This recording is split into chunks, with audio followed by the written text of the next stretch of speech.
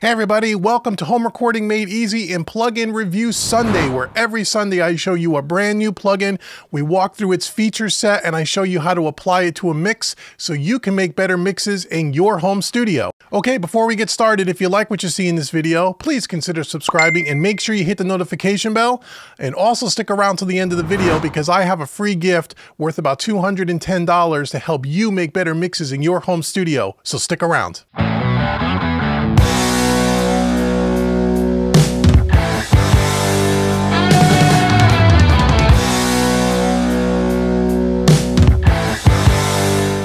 Okay, everybody, welcome. So this week on Plugin Review Sunday, we're going to take a look at the Plugin Alliance um, Lindell 80 channel strip, which you see right here on the screen. This is a Neve channel strip. We're going to listen to this on a couple of different sets of instruments, maybe some guitars and some drums, and walk through the plugin and let you guys check that out. And you can always demo this at the Plugin Alliance website. So here is the Lindell 80.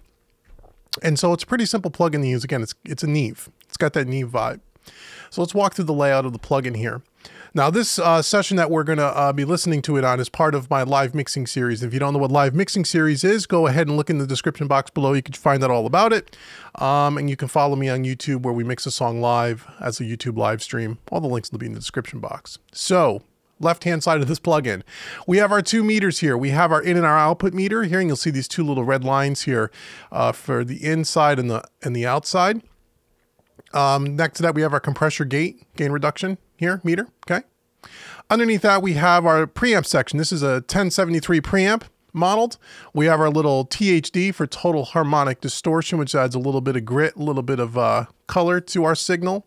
And here is our preamp here, our 1080, our 1073 preamp. And what's great about this is um, you can go ahead and have a 20 dB pad switch where a lot of times what I do, like I did on this session, is I'll pad it down 20 dB, the signal, and then I'll crank up the preamp a little bit to make up for that, to push some signal and get some coloring from this preamp. Next to that, we have our Unity button. And what that does is it allows, when you click the Unity button, it's gonna it's gonna go ahead and it's gonna level the volume so when you get to the output, you have the same volume uh, coming in and out of the plugin, which is a cool feature. Next to this, we have our EQ. Now we have two EQs in this particular plugin. We have our um, 1073 uh, EQ here and the 1084 by clicking that button. The difference between the two, and I'll show you in a second, just a couple extra features on the 1084. On the uh, 10, uh, 1073, we have our um, our filters here, our high, our high cut, our high shelf, I should say. I think it's uh, 12 or 15K, which you can go plus or minus 16 dB. Okay. Under that, we have our mid frequencies here. Now, this is a two stepped uh, kind of a dial here. If it's, you can see it here on the bottom, we have all, this will be off and then we have, it's a stepped frequencies, 360, 700, 1.6K, 3.2, 4.8, 7.2. Okay. And then on top, we have our plus or minus 18 dB. Okay. So that's the way this works and that's the way it is on the console. Um, underneath that, we have our low frequencies. Again, we haven't have it off. We have uh, 35 hertz, 60 hertz, 110, 220, and then again, plus or minus 18 dB. We have our filter section down here in blue, our low cut filter. Okay, and then we could turn the EQ section on and off separate from the filters, which is kind of nice. Next to this, we have our compressor. At the top here, we have our wet dry mix for parallel compression. We have our sidechain high pass filter here as well. We have our threshold, our ratio 1.5 to 1 all the way up to 6 to 1.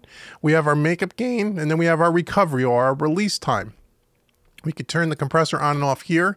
Our attack time is either a slow attack or a fast attack by clicking this button here. Even at its slowest attack, it's still pretty fast.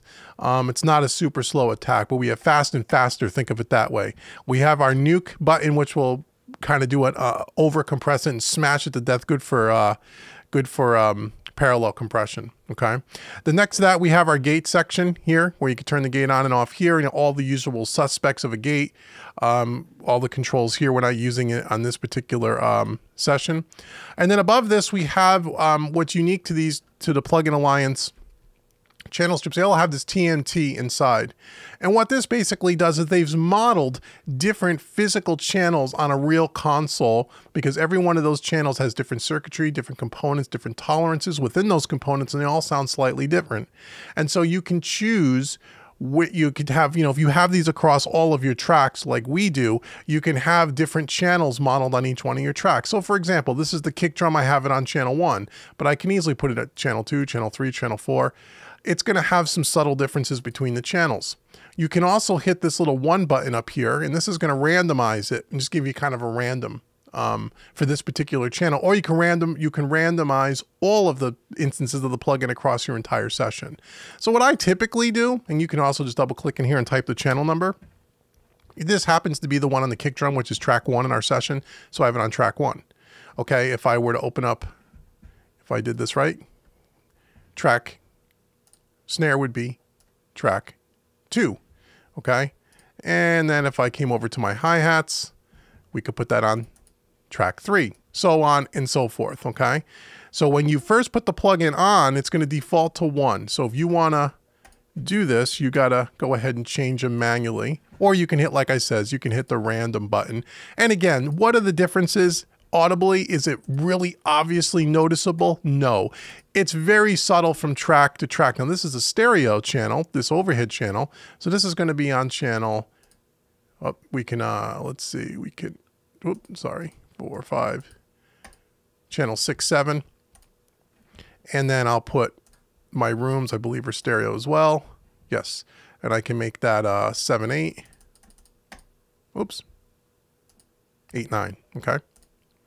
Um, and that's how you would use that. Now, there's two parts to this plugin. There is the one that you would put on all of the individual tracks themselves. And then on the buses, whether it's on your bus, in our case, our drum bus, or the master out, you also have the second part, the bus part of the plugin as well. So these go on all your buses, and you have a little bit of a total harmonic distortion control, a trim pot here, and a master fader, and then you have your inputs and your outputs.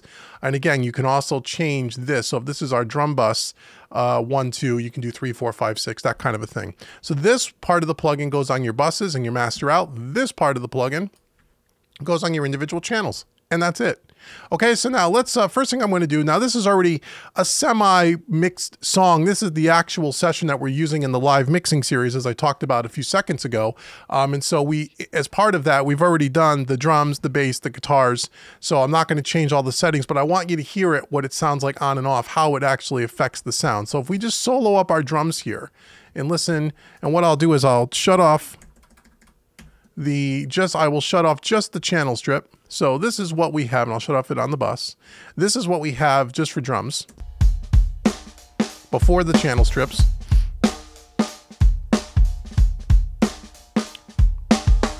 I'll turn this up a little bit so you can get a little bit more volume. Now I'm going to bring it in.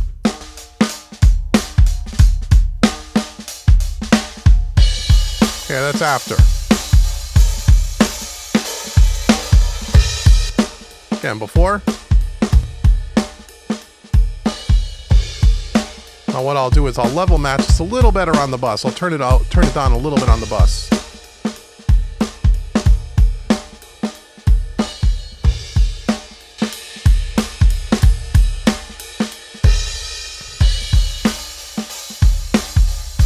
Okay, so it has that very um, Neve kind of sound, real big open top end that has a, and a lot of, as well as a lot of bottom end. So if we just take a, list, a look at like on our kick drum here, I'll just show you some of the settings. So on all of the drums, I went ahead and used the 20 dB pad switch so I can push the preamp a little bit. So this is our kick drum. You can see our gain reduction meter here, about two or three dB of gain reduction. So on the EQ side, I just added a little bit of 60 hertz for some bottom end. That was it. On our compressor, we did a two to one ratio with a fast release, slow attack, if you will, and we're compressing a few dB with just by lowering the threshold, and that's really it. And our snare.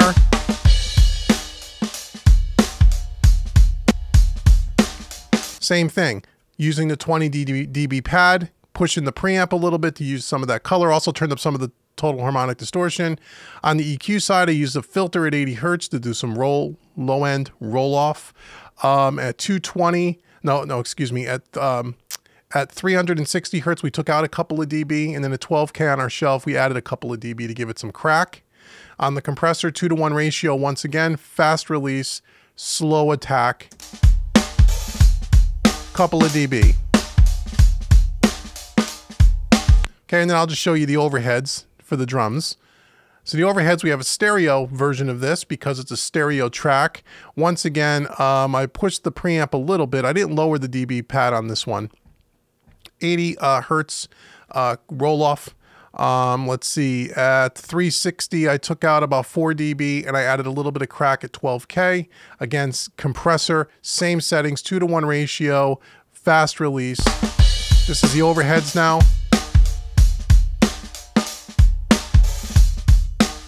Can lower the threshold if you wanted more compression. We weren't really compressing it all that much.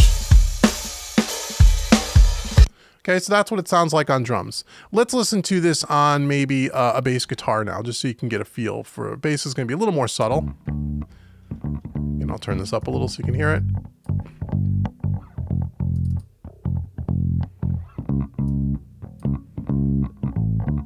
Okay, so let me just turn it off here. This is before.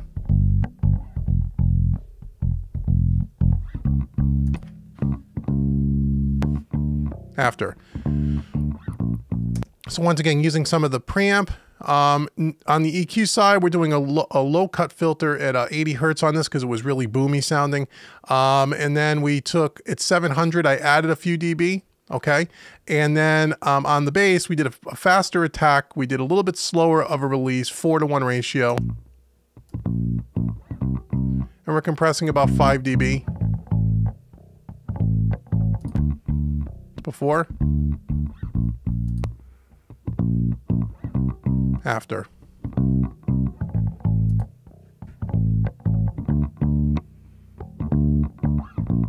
Okay, and then lastly, we'll listen to it on an organ just because why not? We're here, right?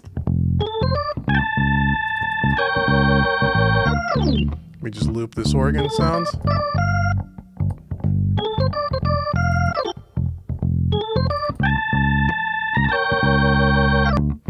Same thing, pushing the preamp, low using the pad. Um, on the EQ side, 360 took out about 3 dB, um, did a low cut filter at 80 hertz, and a little bit of a shelf here, just a couple of dB. Um, threshold, uh, or excuse me, the ratio, 4 to 1 ratio on the compression, fast release. How much uh, gain do we have? A couple of dB of gain reduction, a little bit of makeup gain.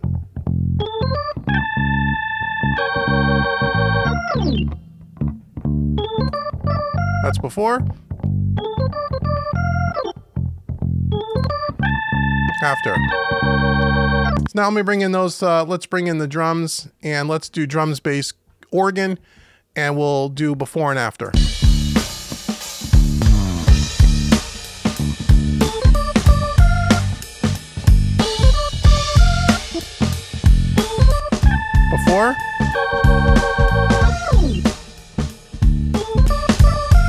After.